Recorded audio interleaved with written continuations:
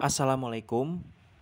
Baik sahabat-sahabat semua, pada video kali ini saya akan menunjukkan bagaimana caranya mendapatkan akses kelas online CMO atau kelas online cara mengajar online agar siswa tidak bosan. Pertama kita persiapkan dulu uh, browser kita. Teman-teman bisa menggunakan misalnya Google Chrome. Di sini saya menggunakan Google Chrome ya teman-teman. Kemudian ketik di bagian uh, address bar ya. Kemudian diklik di cari bit.ly kemudian slash tulis kelas CMO atau teman-teman bisa klik langsung link yang sudah saya bagikan ini ya. Link ini kan juga sudah saya bagikan di deskripsi. Nah itu teman-teman silahkan bisa di klik ya. Nah kemudian setelah itu go.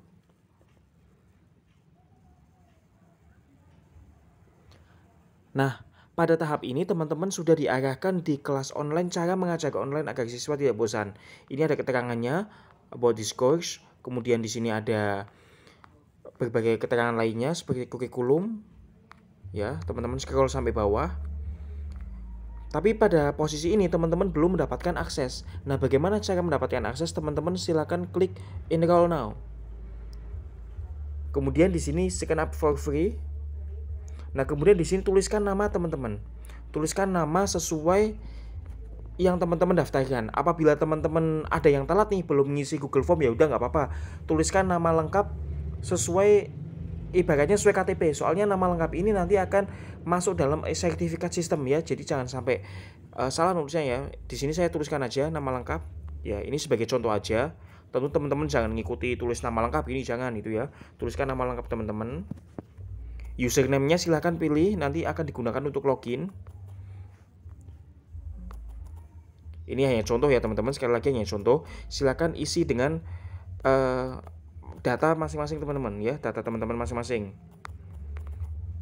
Ya. Isi nama lengkap nama first name last name nama awal nama belakang kemudian username ya.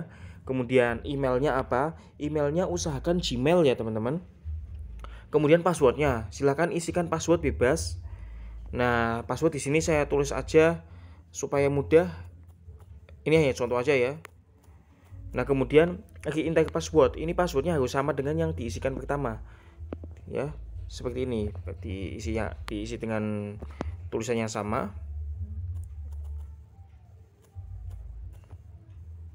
Nah, ini udah sama ya. Kemudian di sini dicentang kemudian langsung klik register. Kita tunggu sebentar. Nah kalau kita sudah register nanti kita akan kembali ke halaman tadi ya ke halaman ini. Ini di close saja ke halaman ini. Nah kemudian teman-teman langsung klik di sini enroll now lagi. Ya jadi kliknya dua kali ya tadi sebelum mendaftar dan ini klik setelah kita diarahkan lagi ke halaman ini kita klik lagi enroll now. Kita tunggu prosesnya Nah, sekarang kita sudah mendapatkan aksesnya. Ya ini core status adalah uh, kita sudah sampai mana belajarnya. Nah, cara mulai belajarnya kita scroll ke bawah. Ya, scroll ke bawah aja. Kemudian start course. Nah, teman-teman bisa mulai belajar di sini ya. Di sini kalau kita klik ada beberapa poin-poin materinya apa saja nanti yang akan dipelajari. Jadi sistemnya teman-teman nggak bisa lompat ke materi selanjutnya kalau materi yang ini belum selesai. Jadi silakan selesaikan terlebih dahulu. Ya, selesaikan terlebih dahulu. Kita tonton terlebih dahulu materinya ikuti. Ini seperti ini. Salah satu keterampilan yang wajib dimiliki oleh setiap pendidik di zaman sekarang adalah keterampilan. Nah, itu ya. Nah, kemudian nanti teman-teman kalau mau sudah selesai, misalnya materi sudah selesai, klik complete lesson. Nanti akan langsung diarahkan ke halaman selanjutnya. Nah, ini ada saran buat teman-teman misalnya nanti teman-teman ini kan eh, nggak uh, mungkin menyelesaikan langsung dalam sekali waktu ya. Jadi teman-teman harus log out terlebih dahulu. Kalau cara logoutnya gampang, klik di sini. Kemudian di member area diklik. Kemudian di sini ya kita logout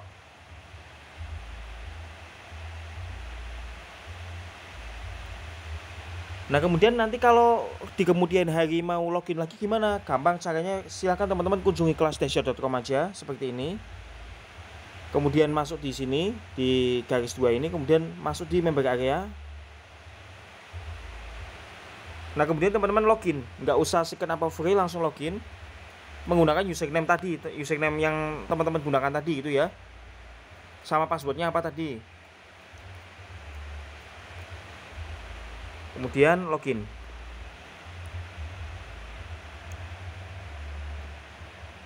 Nah setelah login, kita di sini ada beberapa menu langsung aja kita klik di enroll course. Nah, kemudian di sini saya mengajar online, dibuka, diklik. Nah, kemudian teman-teman bisa uh, scroll ke bawah, continue lesson. Ya, gitu aja teman-teman caranya. Caranya sangat mudah sekali. Uh, pesan saya, ketika teman-teman tadi mengisi formulir pendaftaran, pastikan diisi dengan nama yang penulisannya tepat ya. Misalnya menggunakan gelar ya gelarnya juga penulisannya tepat. Perhatikan besar kecilnya huruf besar kecilnya itu perhatikan. Kemudian usahakan teman-teman bagi teman-teman yang sudah pernah mengisi formulir di Google Form maka isikanlah data sesuai dengan apa yang sudah teman-teman isikan di Google Form ya. Misalnya pakai email A ya pakai email A. Pakai nama A ya pakai nama A seperti itu ya. Jadi demikian teman-teman tutorialnya sangat mudah sekali. Semoga bisa dipraktekkan saya ucapkan selamat belajar dan selamat menikmati kelas online cara mengajar online agar siswa tidak bosan bersama kelasdasyat.com. Salam dasyat.